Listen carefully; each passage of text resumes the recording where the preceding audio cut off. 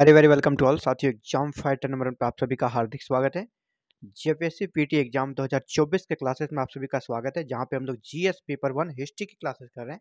आज हम लोग फिर से नए एम कर सकते हैं one liner cum previous year question को सॉल्व करेंगे, जहाँ पर हम आप देखेंगे टू वन लाइनर आपको मिलने वाला है। और ये वन लाइनर प्रीवियस ईयर जो चाहे वो जेपीएससी हो जेएसएससी हो, झारखंड से रिलेटेड एग्ज़ाम में आए हुए प्रश्न है। तो अगर आप इतने सारे प्रश्नों को कर लेते हैं तो आपके प्रश्न सीधे एग्ज़ाम में लड़ेंगे, है ना? सेम प्रश्न आपको एग्ज़ाम में मिल सकता है। इसीलिए, क्योंकि समय कम है, अभी हमें डिटेल्स में लेक्चर्स दे के फिर क्लासेस का क्वेश्चन आंसर कराना अभी कम समय में पॉसिबल नहीं है।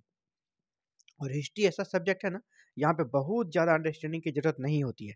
इसीलिए आप ऐसे ही करके आप तैयारी को कंप्लीट कर सकते हो, क्योंकि हम डिस्कस भी यहाँ पर करते जाते हैं ना। जैसे आपको ऑनलाइन में बताता हूँ तो उस पर फिर डिस्कस भी कर ही देता हूँ। तो अंडरस्टैंडिंग आ ही जाएगी, जितना ज़रूरत है उतना मैं कर देता हूँ। इसलिए कोई दिक्कत नहीं है। आप अगर ऐसे ही तैयारी करते रहें तो निश्चित रूप से आपका जैसे पेपर है, ये हिस्ट्री कंप्लीट हो गया। फिर पॉलिटिकल शुरू करेंगे इकोनॉमिक्स ज्योग्राफी ऐसे ही चलते रहेगा और सारे पेपर आपके कंप्लीट हो जाएँगे इतने कम समय में और फिर भी आप सिलेबस के काफ़ी करीब हो जाएँगे कि मेरा सिलेबस इतना परसेंट कंप्लीट है। तो चलिए स्टार्ट करते हैं, ज़्यादा समय न लेते हुए आज के वन नाइनर का पहला प्रश्न 201 नंबर आप देख पा रहे हैं। 201 नंबर पे है। इसके पहले 200 प्रश्न आप कर चुके होंगे। अगर नहीं किए तो प्ले लिस्ट में जाएँ और जेपीएससी पीटी एग्ज़ाम 2024 टाइप करेंगे। वहाँ पे आपको प्ले लिस्ट में प्रीवियस क्लासेस मिल जाएँगे। वहाँ से 200 प्लस अभी के आपको प्रश्न यहाँ मिल जाएँगे। 250 प्रश्न आपको वहाँ पे मिल जाएँगे। ऐसे ही और भी आगे क्लासेस जा रही है। बहुत जल्द आपका पॉलिटी की क्लासेस स्टार्ट हो रही है और संडे को करंट अफेयर्स होगा और करंट अफेयर्स तीनों सेक्शन का होगा। झारखंड करंट अफेयर्स होगा इंडिया के कॉन्टेक्स्ट में करंट अफेयर्स होगा और वर्ल्ड के कॉन्टेक्स्ट में यानी तीन टाइप के करंट अफेयर्स होने वाले हैं संडे को। चलिए, पहले प्रश्न पाते हैं। दीवान ए खेरात किस काम के लिए अलग विभाग था? दीवान ए खेरात, नहीं होता आप बातचीत में भी कहीं बात करते हैं कि ये खेरात की चीज़ है। खेरात मतलब हो गया दान, है ना? दान विभाग था ये। जन कल्याण और दान विभाग था। ये जनता के को दान दिया जाता था दीवान खेरात के माध्यम से। तो जन कल्याण के लिए विभाग बनाया था और किसने बनाया था? ये फिरोज तुगलक ने बनाया था। याद रखिएगा, ये भी आपको पूछ सकता है, दीवान खैरात किसने बनाया था? फिरोज तुगलक ने। गरीब और असहाय लोगों को दान दिया जाता था, यानी जन कल्याण के लिए ये कार्य किया जाता था। दीवान खैरात, अलग विभाग था किस काल के लिए? दान पुण्य के लिए और जरूरतमंदों को दान दिया जाता था। फिरोज तुगलक ने इसे बनाया था। अगला गुलाम वंश के काल में दिल्ली की कुवत उल इस्लाम मस्जिद मूलतः क्या था? है ना? कुतुल इस्लाम मस्जिद किसने बनाया था? कुतुबुद्दीन ऐबक ने। किसने बनाया था? कुतुबुद्दीन ऐबक ने। लेकिन वहाँ पर मूल रूप से पहले एक जैन मंदिर था। वहाँ पे पहले क्या था? जैन मंदिर। चलिए आगे बढ़ते हैं। दिल्ली सल्तनत के प्रशासन में सर्वाधिक महत्वपूर्ण पद किसका था? पोस्ट? सुल्तान का था। है ना? ये तो साधारण सी बात है। दिल्ली सल्तनत के प्रशासन में सर्वाधिक महत्वपूर्ण पद किसका था? सुल्तान का। सर्वप्रथम किस शासक ने निश्चित न्यायिक सिद्धांतों को उलेमा वर्ग पर भी लागू किया। जी हाँ जो न्यायिक सिद्धांत है, उससे उलेमा नहीं बच सकते। उलेमा को जो कुछ विशेषाधिकार मिले थे, वो सारे खत्म कर दिए। किसने? मोहम्मद बिन तुगलक ने किया था। लेकिन हाँ सत्ता के जब इनका कह सकते अंतिम दौर था, वो फिर वहाँ से इन सभी निर्णय को उन्हें बदल दिया और वो एक तरह से कर सकते हैं, ऐसा बिहेवियर करने लगे जो कि इस्लामी शासक करता है। वो लास्ट में, अंत में क्या हो गए? थोड़ा धर्मनिरपेक्षता से हट के वो थोड़ा क्रूर शासक के रूप में परिणत हो गए थे। लेकिन स्टार्टिंग में उन्होंने बहुत ही शानदार ये सारे कार्यों को किया था। न्यायिक सिद्धांत को उलेमा पर भी थोप दिया था और उलेमा को स्वतंत्रता नहीं दी। उन्हें जो योग्यता के आधार पर जो काम अच्छा लगता था, राज्य के लिए जो अच्छा था, वो वो करते थे। चलिए, आगे बढ़ते हैं। मसाहत का अर्थ क्या है? मसाहत बहुत सारा, बहुत शब्द मिलता है मिडाइबल इंडियन हिस्ट्री तो मसाहत का मतलब क्या है? भूमि की पैमाइश, है ना? भूमि की माप करके, लगान का निर्धारण करना ही भूमि की पैमाइश कहा जाता है। मसाहत कहा जाता है। भूमि की माप करना और उसके आधार पर कर का निर्धारण करना, क्या कहते हैं उसको? मसाहत। वकील ए सुल्तान, एक नया विभाग बना वकील ए सुल्तान, इसकी स्थापना किसके शासनकाल में हुई? तो महमूद तुगलक, है ना? महमूद तुगलक। महमूद तुगलक बोले तो आपको मोहम्मद बिन तुगलक भी बोल सकते हैं, है ना? या इसको जोना खां भी बोल सकते हैं, कोई भी नाम आपका चलेगा। तीनों नाम, जोना खां, मोहम्मद बिन तुगलक, महमूद तुगलक उसी के काल में वकील सुल्तान का पद क्रिएट किया गया था। चलिए आगे बढ़ते हैं। सिकंदर लोदी के समय इकतदारी व्यवस्था में सबसे बड़ा परिवर्तन क्या हुआ? इकतदारी इकता क्या होता है? किसी अधिकारी को आ, उसका जो वेतन है उनको जो राजस्व मिलना था उसके बदले वो उसको ज़मीन का टुकड़ा दे दिया जाता था और उससे वो राजस्व वसूल करके अपने खर्च को निकालते थे। उसी ज़मीन को इकता और जिसे मिलता था उसे इकतदारी इकतदार कहा जाता था इस व्यवस्था को इकतदारी व्यवस्था कहा जाता था। तो इकतदारी व्यवस्था में क्या परिवर्तन हुआ सिकंदर लोदी के काल में? अब है कि जो इकतदार होते थे, जैसे किसी प्रांत में छोटा सा मान ली कोई अधिकारी है, उसे एक प्रांत दे दिया गया ना? ये प्रांत दे दिया गया, इस प्रांत पर उसे शासन करना है तो उसको बोला जाता है मुफ्ती, है ना? उसको बोलते थे मुफ्ती, या कहीं कहीं जैसे मैंने जैसे कहा, ये जो ज़मीन का टुकड़ा है, ये होगा इकता। ये क्या होगा? इकता। और जिसने इसे लिया, वो क्या होगा? इकतदार। ये सामान्य सा में है। लेकिन उसके लिए एक वर्ड यूज़ किया जाता है, मुफ्ती। मुफ्ती वर्ड यूज़ किया गया है मिडाबल इंडियन हिस्ट्री में सल्तनत काल में। तो या इकतदार या मुफ्ती एक ही हुआ, है ना? इकतदार या मुफ्ती एक ही व्यक्ति को कहा जाता था। लेकिन सिकंदर लोदी के समय अब उसको क्या करने लगा? वजफदार भी कहा जाने लगा। यही परिवर्तन हुआ कि मुफ्ती को ही वजबदार कहने लगा। तो आपका इकतदार, मुफ्ती वजबदार तीनों टर्म एक ही व्यक्ति के लिए उपयोग किया जाता था, एक ही पद के लिए उपयोग किया जाता था, बस उसको अलग अलग समय अलग अलग नामों से जाना जाता था। चलिए आगे बढ़ते हैं। अलाउद्दीन खिलजी के समय सराय ए अदल क्या था? सराय ए अदल क्या था? एक बाज़ार था। सराय अदल क्या था? एक बाज़ार, जहाँ पर निर्मित वस्तुएँ आती थी और उसे कस्टमर बिक्री के लिए लाई जाती थी। चाहे वो सूती का, वस्त्र हो तेल हो, नमक हो, ये सारी चीज़ें वहाँ पे बिकती थी सराय अदल में। एक तरह से मार्केट था ही अगला है, किस सुल्तान ने सैनिकों को भू अनुदान के स्थान पर नगद वेतन देने की प्रथा चलाई? बहुत ही फ़ेमस क्वेश्चन है ये, बहुत बड़ा है। भूमि अनुदान पहले दिया जाता था सैनिकों को, जैसे पहले कहा कि इकता दिया जाता था। वही भूमि अनुदान मतलब क्या हो इकता दिया जाता था। लेकिन अब इकता नहीं, अब उसे नगद वेतन दिया जाने लगा। नगद वेतन किसने शुरू किया? तो अलाउद्दीन खिलजी ने, और यही उसकी सफलता का सबसे बड़ा राज था। दिल्ली स्थित सिरी का किला, है ना? सिरी फोर्ट। हज़ार सतुन राजमहल के निर्माण का श्रेय किसे है? ये दोनों ही श्री का किला, श्री फोर्ट या हज़ार सतुन राजमहल, ये दोनों अलाउद्दीन खिलजी ने बनाए थे। चलिए क्वेश्चन नंबर आपका two hundred eleven Muhammad bin Tughlaq की मृत्यु कहाँ हुई? मोहम्मद बिन तुगलक की मृत्यु सिंध के थट्टा में हुई थी, सिंध के थट्टा में। भारत का प्रथम मुस्लिम शासक कौन था, जिसने भूमि की वास्तविक आय पर राजस्व निश्चित किया? भारत का प्रथम, है ना? प्रथम मुस्लिम शासक, याद रखिएगा। जिसने भूमि की वास्तविक आय के आधार पर राजस्व निश्चित किया तो वो अलाउद्दीन खिलजी थे। इन्होंने भूमि का पहले मसाहत कराया ना नाप कराया, उसके बाद कितना टैक्स बनता है, उसी के आधार पर ही टैक्स निर्धारित किया तो अलाउद्दीन खिलजी ने। आगे बढ़ते हैं। किस सल्तनत कालीन शासक को मिनहाज ने हातिम ताई की संज्ञा दी? हातिम ताई की संज्ञा इसलिए दी क्योंकि ये बहुत बड़े दाता थे, दान करते थे। इसीलिए इसे हातिम ताई की उपाधि दी गई। किसको? कुतुबुद्दीन ऐबक को। गद्दी पर अपने शक्ति के मज़बूत होते ही अलाउद्दीन ने किसका दमन किया? गद्दी पर अपनी शक्ति को मज़बूत होने सबसे पहले अमीरों का दमन किया, क्योंकि अमीर वर्ग ही थे जो कभी कभी सत्ता को चुनौती दे सकते थे और देते थे। इतिहास गवाह था, अमीर वर्ग शक्तिशाली होने से सुल्तान को चुनौती मिलती थी, इसलिए सबसे पहले उसका दमन करना आरंभ किया अलाउद्दीन खिलजी ने। आगे बढ़ते हैं। फिरोज तुगलक ने गुलामों का एक अलग विभाग बनाया था।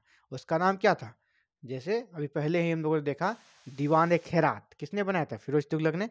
वो दान पुण्य के लिए, जन कल्याण के लिए था। इसी प्रकार गुलाम, बहुत ज़्यादा इसके काल में गुलाम थे। उन गुलामों के लिए भी अलग डिपार्टमेंट बना दिया था।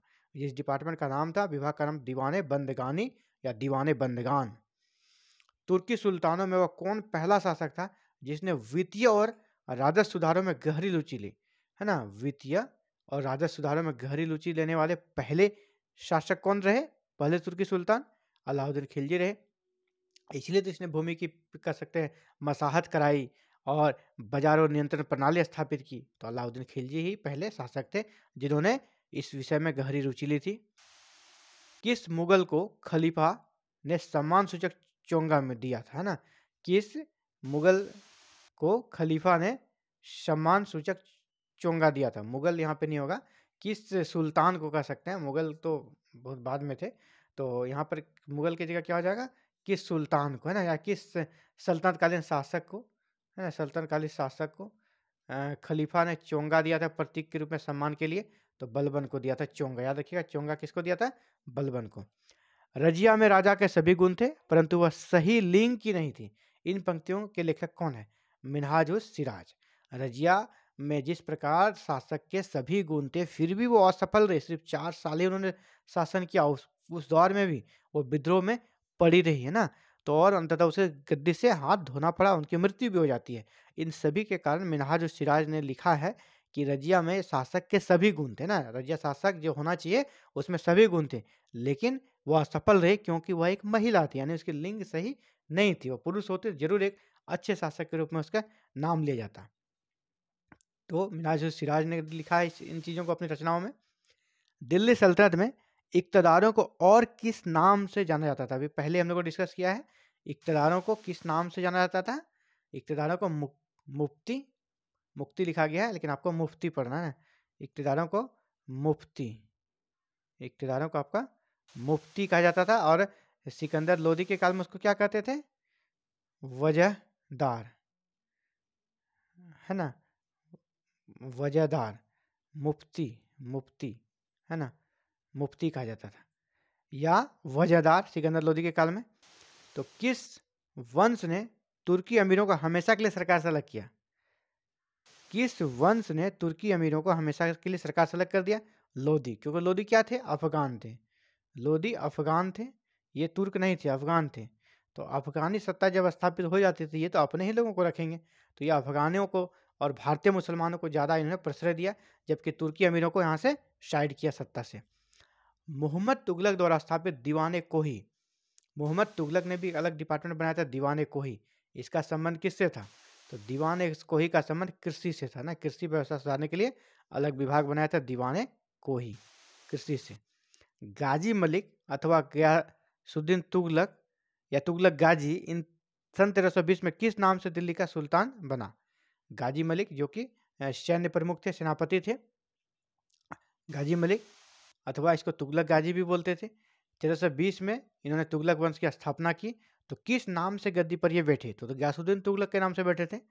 दक्षिण भारत की विजय तजीत को पूरा किसने किया? जोना खान ने। अलाउद्दीन के समय में क्या हो दक्षिण भारत को पर विजय किया गया है ना? उसे नियंत्रण में रखा गया लेकिन उसको दिल्ली सल्तनत में मिलाया नहीं। और दिल्ली सल्तनत में उसको पूर्णतः विलय नहीं किया।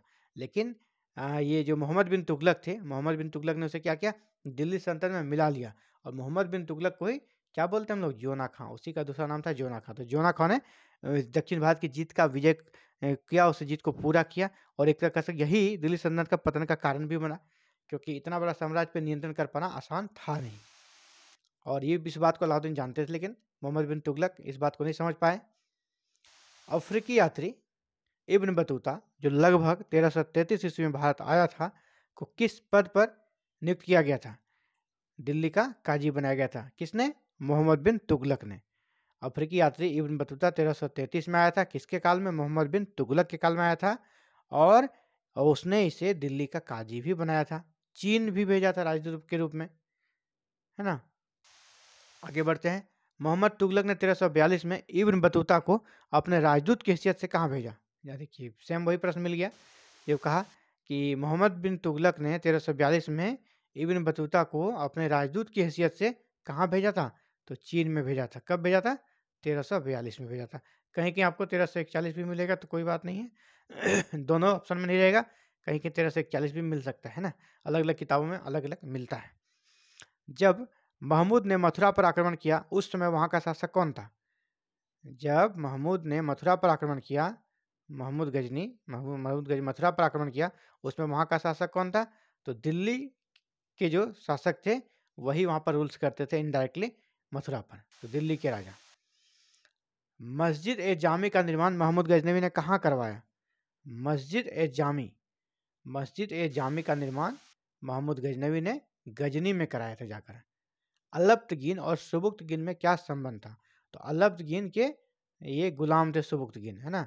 तो आपका मलिक, मालिक और गुलाम का संबंध था। अलप्त गिन मालिक थे सुबुक्त गिन उसका गुलाम था। और ये कहाँ के थे? गजनी के थे। बाद में सुबुक्त गिन के बाद ही मोहम्मद गजनी का जन्म हुआ। और इनके पिता थे सुबुक्त गिन। चलिए आगे बढ़ते हैं। सियासतनामा किस सदी की पुस्तक है? दसवीं सदी की। सियासतनामा आपके दसवीं सदी की एक पुस्तक है। इसके लेखक थे आपके निज़ाम उल उस्न निज़ाम उल उस्न, इसके लेखक थे सियासतनामा के। किस खलीफा ने महमूद गजनी को यमीनुद्दौला की उपाधि से सम्मानित किया?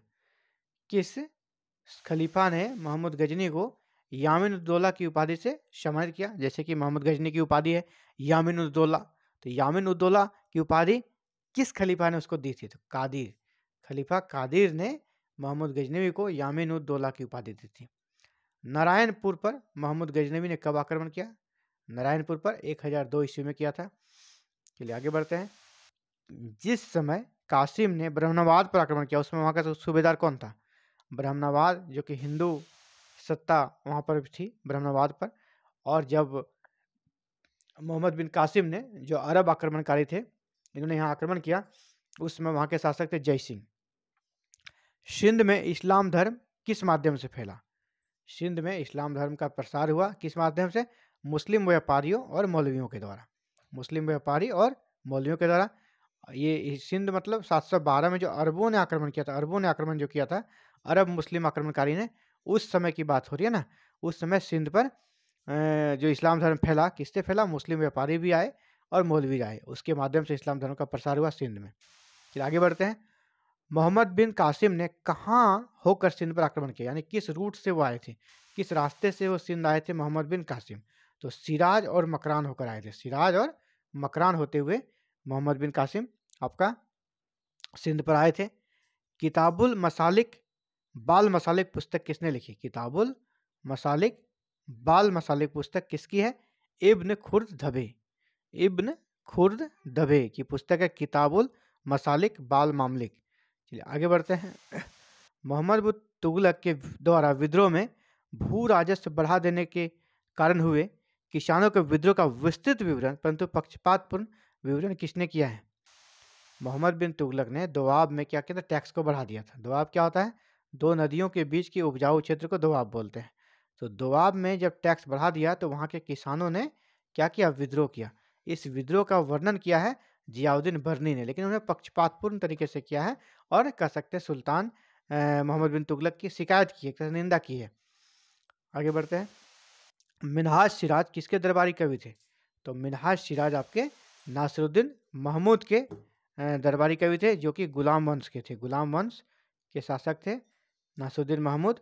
इसी के समय मिनहाज सिराज इसके दरबारी कवि हुआ करते थे। किसके शासनकाल में दीवान अर्ज़, है ना? दीवान अर्ज़ नामक एक अलग विभाग बना, डिपार्टमेंट बना। ये बलवन के काल में बना और ये विभाग में क्या चीज़ के लिए था? ये भी पूछा सकता है, सैन्य विभाग था। दीवान अर्ज़ क्या था? सैन्य विभाग। इसके जो प्रमुख होते थे आरिज मुबालिक कहा जाता था जो तरह से कह सकते सेना का प्रमुख हुआ करता था।